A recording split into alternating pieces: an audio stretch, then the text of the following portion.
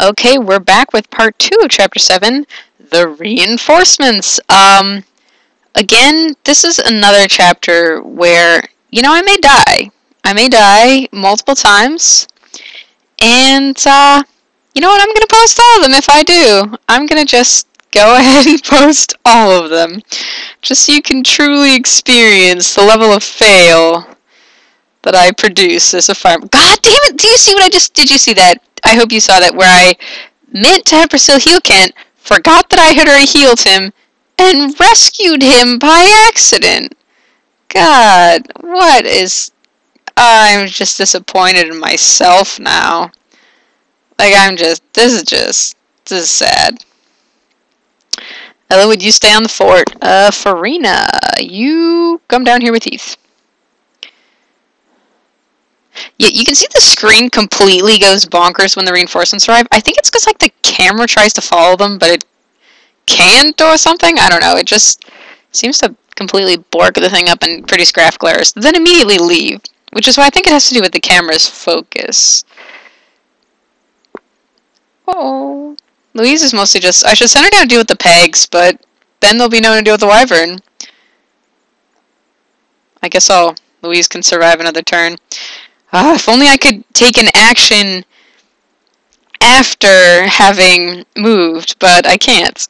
I mean, after having, you know, done the rescuing. Uh, Carla. Yeah, your avoid is the same with the iron sword. Why the heck not? So just keep dealing with the pegs here, getting everybody experience with the people who really probably need the most, aka Louise. And hopefully those X dudes will come and Carla can get some X. Oh god, now Guides is dying. This is just just a clusterfuck of fail with me. And, and more graph. I think again it's because the screen, if the camera like goes over here when the reinforcement appears, but the screen can't go high enough. Something like that. Does that sound like it makes sense? Seems like it kind of does. Okay, we need to pull Guides back because he's dying. And then he can... Where did this mercenary... I forgot that he spawned. I didn't remember that. And I guess Eliwood was blocking him before, and that's why I didn't notice. This is... Yes, I don't remember when my own reinforcements spawn. I don't. I don't. And now I can't... God, I... This whole thing just... Not so good at this game. I'm just gonna admit that gonna admit I've already admitted that multiple times, and I still am here expressing shock for how shitty I am at this game. I like I made the game and I can't even am I just I cannot express what is going I'm gonna use a slim sword actually because maybe she'll get a crit and actually kill something, you know. Could be handy. Um Eliwood, why don't you try to do something about this asshole? Nah, it didn't work. Pegnet is more dangerous, I judge. At least we can buy more shit. Oh god, now she's dying out. Oh, don't make me have to do this over. don't make me suffer from- Whoa, look at this! Look at all the pirates. This is what I mean. I mean, we're really concentrating on keeping the Pegasuses and Wyverns from spawning because basically they're just more dangerous. Like, getting swarmed by pirates, that's not so bad. They pretty much can't hit us. Whereas getting swarmed by Pegasuses, we cannot protect our dudes. We would die. Oh, now more of these assholes are spawning. This is just... Well, Kent, that was a perfectly timed critical. That was exactly what was necessary. Thank you, Kent, for not being useless for once. I'm continuing to have some frustration at my various units, as you can see. Oh yeah, notice that uh, Louise is using the generic palette there the reason, oh, we have some excellently timed criticals right now. These, there's just been a series of them right here, right now. Um, Eliwood, it would not kill you to get another level. It really would not. Oh, he's lower on health than I thought he was. That's not good. Well, if, if, if he dies, it will be my own fault for not keeping track of that properly. My own damn fault. Um, this is frustrating because well, next turn it will be solved, I guess, but Louise can't deal the finishing blow, and Raven will get himself half killed if he tries to deal the initial blow. So, yeah. Eliwood does need some more levels because he's going to be important in the final level. Very important. Now Louise can get the kill and finally get her level. We stayed behind just to level these guys up. Well, speed isn't bad. I've become just... Nino, I... I'm becoming resigned to this... The inevitability of this. Oh, units, why are you doing this to me? He, are you... Are you kidding? This is... What's happening? Why is it happening? Yes, that's the critical I wanted. Dart, keep with the murdering. Uh, he's doing quite good as well. Um, who needs levels more, Kent or Lyn? Both! Well, then they can share. Dive in the bushes and hit him with your sword! Yay. Uh, Priscilla. May as well do some healing. She's getting there. Quite good. Okay, uh, Eliwood, pull back and hide in a bush. That's what I tell you to do. I don't actually remember how long these reinforcements go on for. Oh, I guess that's it. Just till turn 10 or whatever. You know, you don't really need another level right now. Raven, you don't really either. So I'll just let that pirate catch up with us pretty much. Um, Louise is going to come over and try and take some pot shots here. Dart is so close to another level that I'm thinking I might as well just at least Carla can really profit here. Carla's having the profits. It, wow, this is an unusually fast pirate, I must say. Lyn, it's time for the assist, because Lyn is quite a bit faster than Eliwood. Like, just compare them. 14 versus 8. Speed, not his strong point. But he's pretty good, though. Yay, Priscilla! At least Priscilla didn't disappoint me. See other units? See? This is why I love her more. They just, why do they disappoint me so much? But, uh, well, we got Louise A level, and Carla will probably end up getting another one. So yeah, if I had positioned my units better, like had Louise near the Pe near the Pegasus Knights, I could have gotten them a bit more experience. But I didn't, and this is what the result of that is. Yeah, heal grinding Priscilla.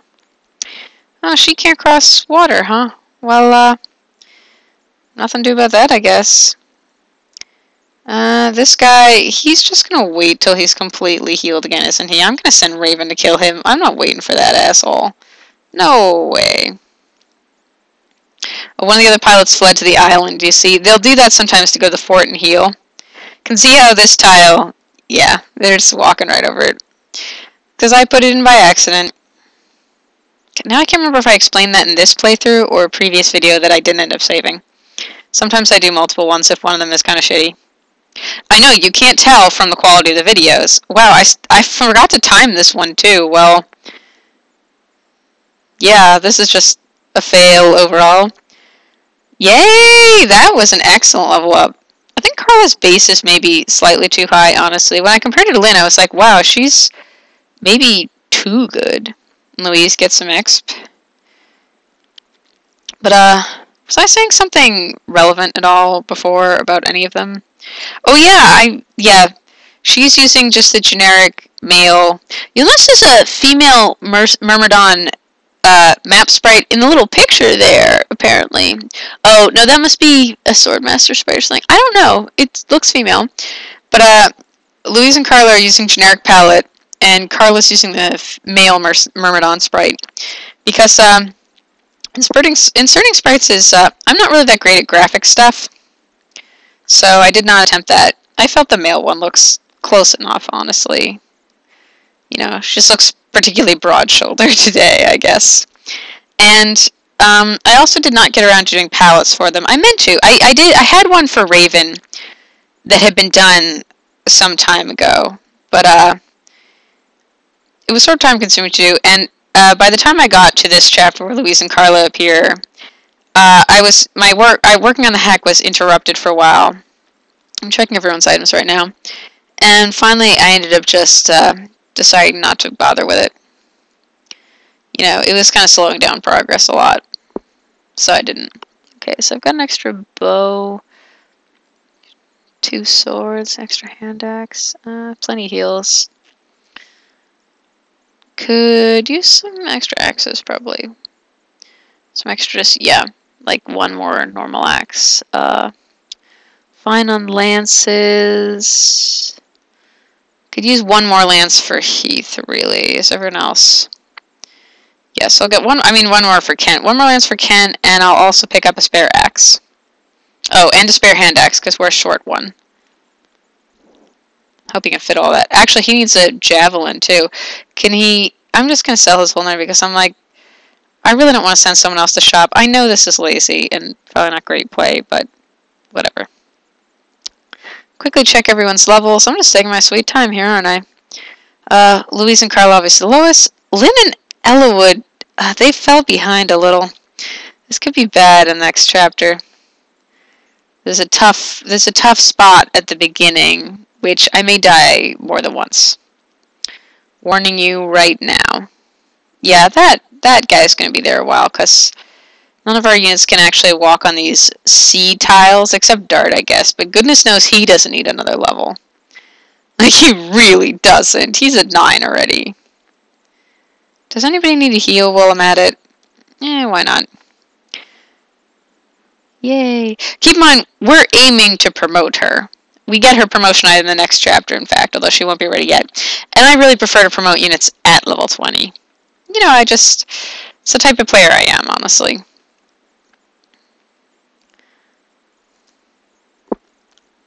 Eliwood's close to the level, that's not bad. And Louise gets some X. Okay, here we are at the end of the chapter. So, uh, gonna watch a cutscene here, and we've defeated everyone.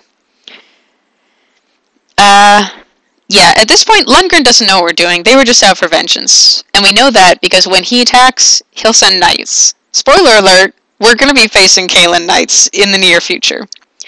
So, uh, we are now inside Freyan territory, and here's some Freyan knights to talk to us. There's a slightly different cutscene if uh, you didn't recruit them. Basically, Eliwood, he, here he knows who they are. He's like, oh, you're those dudes. But if you didn't recruit them, he's like, who are you? It's very minor difference. Uh, Carla's not very chatty, except here. She's she's a suspicious one. She's basically like, you have to picture her going into like kill mode being like, you want to see Marcus? What? She's suspicious. But uh, he's an honest face. Louise, that's not a thing. But yes, Louise kind of calls everyone darling and sweetie. She's kind of sort of very affectionate and cutesy. But uh, this is when we show him the letter is the orders from the mercenary place, signed by Lundgren. So now they have proof. And of course, the Frey Knights are a little concerned about these shenanigans. Lundgren hiring dudes to attack Freyans. That's not okay. And they're going to take us to Lord Marcus. So yeah, it's it's slightly a coincidence, but I mean it's completely a coincidence, but it's like, you know, whatever. It's fun. and you know, when I think about it, Eliwood actually talks to the Tactician much more than Lyn does, but it kind of makes sense given how Lyn doesn't really like to talk about herself. So, yeah, whereas Eliwood is much more of a friendly person. So here we are. I do this map for the cutscene. Um, and here's Lord Marcus. So in this big ass cutscene, uh, I'm just gonna say in the background, the map in the back, I originally designed it just for this cutscene, but then I thought, gee, you know, I have this map. I might as well make a Gaiden chapter and have it set on this map. Oh, I put these two, you can see I put them too close together so that one is kind of hiding behind the other here. Uh, I did this sometimes in cutscenes and I did not remember to fix it in all of them. But anyway, Lord Marcus is very, you know, upright and noble, and his plan is he'll send them to Lord Uther in Ostia. And uh, Uther is, you know, Ostia's in charge of the Lycian League, so it's only natural that the dispute should be settled in this manner. See, the heroes are actually not going to settle this with violence. Well, they are, but they don't mean to.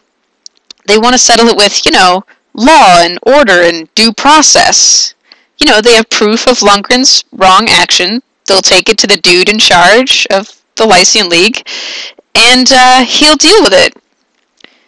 So, I, I don't know, I really wanted the heroes to kind of take a course of action that because it just didn't make sense for them to try and go kill Lundgren or whatever. It really didn't. So I thought, you know, this is sort of the course of action that makes the most sense for them. They're they're kind of using the tools at their disposal. But of course, reaching Ostia would be difficult because Caelin is sort of in the way. And Marcus is like, ha ha, but you won't go by land. You'll go on a boat. Kick ass. The thing is, I really wanted to have at least one level on a boat you know, you have the ship tiles, and I really want to use them, so there's a boat level. And of course, see, the thing is, there's no real where else to stick him except in front of Marcus, so Marcus is like, oh, pirate in my face! Where did he come from?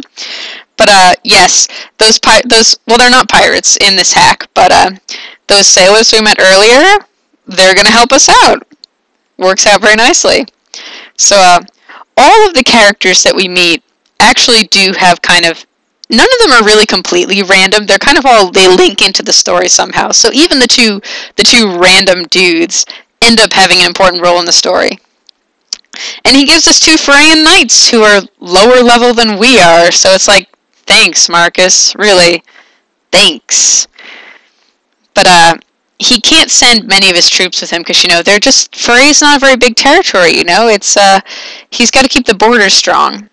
So he basically dumps it all on the heroes. He's uh he's not that helpful, but he sends his herald with us because you know the herald is like official and that makes us legit. I guess he could have just given us a sealed letter, but that's not Marcus's style. That's not how he rolls. And of course, Eliwood still has no friggin' clue who Uther is. He's like, who are all these people? He he's never left home before. This is the first time he's been down the mountain practically. But uh, yeah, he's unconventional. I mean, it's Uther. He has to be. Well, it's like, well, okay. But, uh, yeah, Lyn rarely. I think with her personality, she really wouldn't want to talk to tactician too much. She's she's reserved. She doesn't like to, you know, talk too much. But she's supportive. You know, she's like, and of course we accept the side quest. This side quest is a little unusual, though. I will say. Um, and we're going to see it next next video. But uh, it's it's unusual, and you'll see why. But so that's crossing the border. You can see how you can either not get the reinforcements. We easily could have avoided them. If you don't know they're there, you'll probably avoid them just by accident from just killing all the dudes. Or you can get them. Um, they don't give you that many level ups, I guess, because they're not that strong. But it gives you a nice start, at least, with Louise and Carla. And I probably could have gotten more level ups if I'd planned it a little better. But so you can see that chapter. And now our heroes have a new leg of their quest. They have to get to Uther and Ostia and present the evidence of Lundgren's treachery so that he can, uh, I guess it's not really treachery, it's just criminal behavior. I don't know. Inappropriate bandit hiring, and that he will help them. So that's the next leg of the journey, and we're going to see more of that in the next video.